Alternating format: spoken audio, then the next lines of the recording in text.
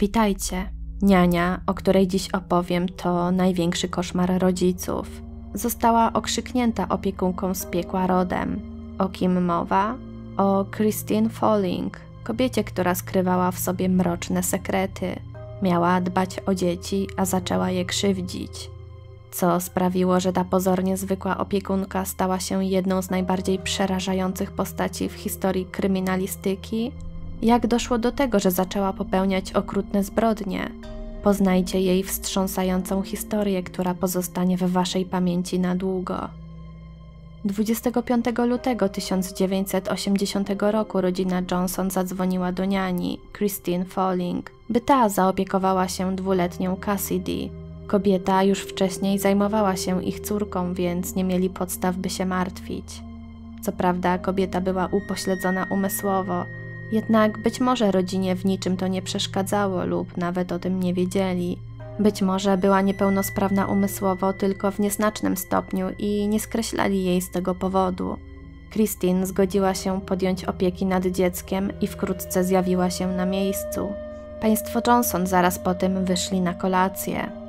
Nie wiadomo, co dokładnie działo się w trakcie opieki nad Cassidy, jednak gdy Johnsonowie wrócili do domu, Christine przekazała im niepokojące wieści. Powiedziała, że dziecko nagle straciło przytomność i wypadło z łóżeczka. Z początku wszystko było w porządku, jednak po kilku godzinach pojawiły się niepokojące objawy, więc Cassidy została niezwłocznie zabrana na badania do szpitala. Niestety, na pomoc było już za późno. Dziewczynka wkrótce zmarła. Według lekarzy przyczyną śmierci miało być zapalenie mózgu, jednak po sekcji zwłok patomorfolog ustalił, że dziecko zmarło w wyniku obrażeń, urazu czaszki i zgłosił sprawę na policję.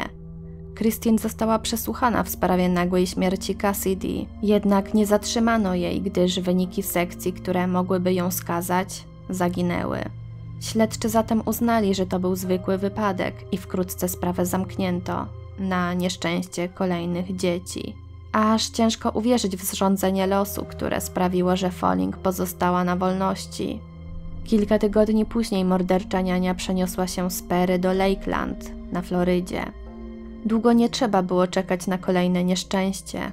Dwa miesiące później, w maju, Falling podjęła się opieki nad czteroletnim chłopcem, Jeffreyem Davidem.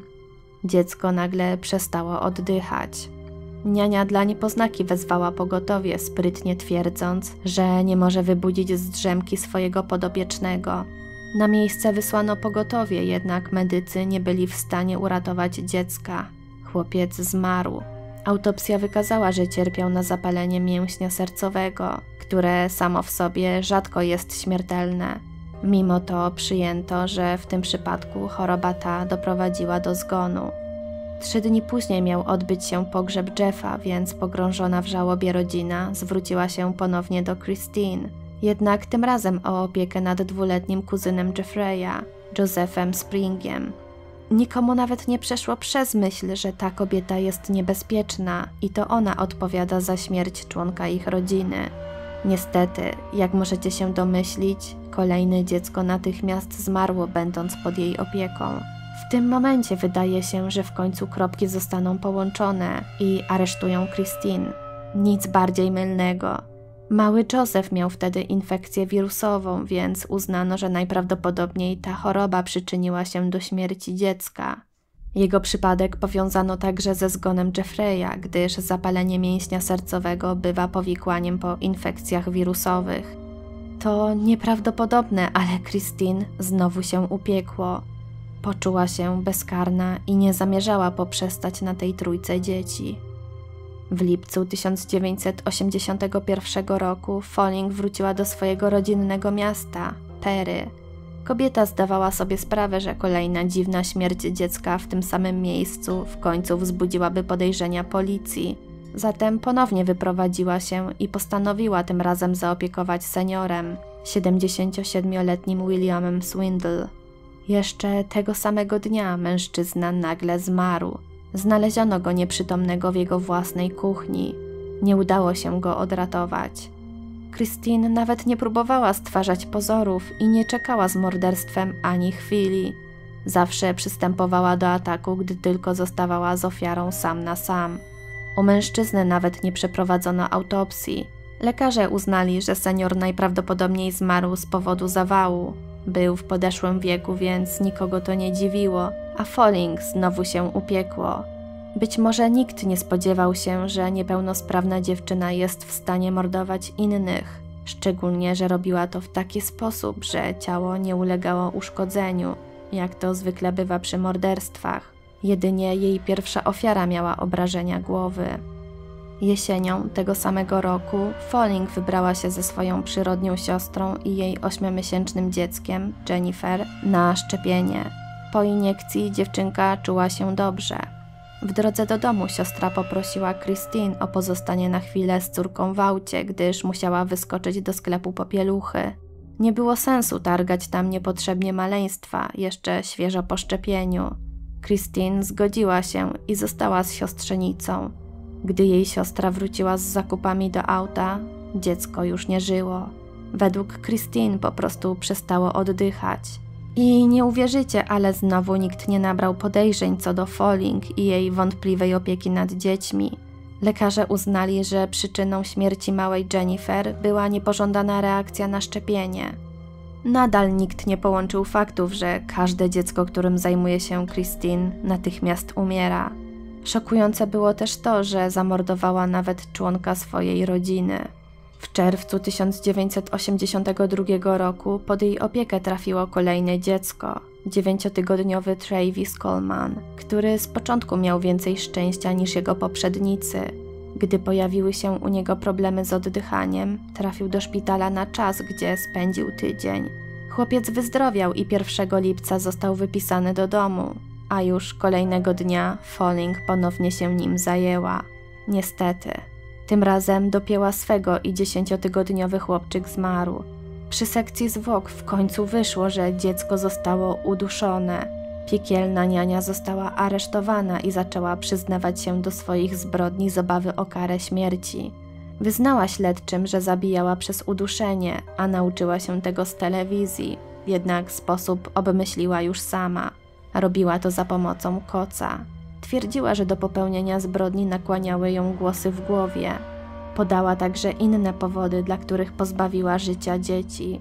Cassidy Johnson miała zostać zaatakowana, ponieważ według Falling stała się niegrzeczna. Jeffrey Davis doprowadził ją do szału już z samego ranka, więc wyładowała się na nim i zaczęła go dusić, aż chłopiec zmarł. Tak naprawdę nie potrzebowała żadnego powodu do ataku, gdyż kolejna ofiara, mały Joseph, spał, gdy na niego napadła.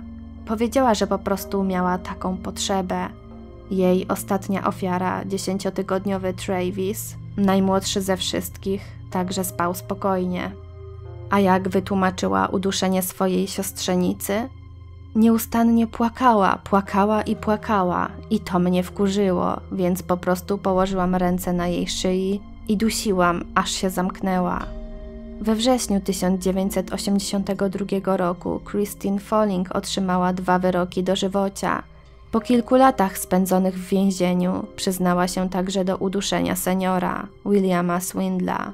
Po wieloletniej obserwacji lekarze odrzucili twierdzenie Falling o tym, że słyszy głosy. Jednak stwierdzono u niej zespół Munchhausena.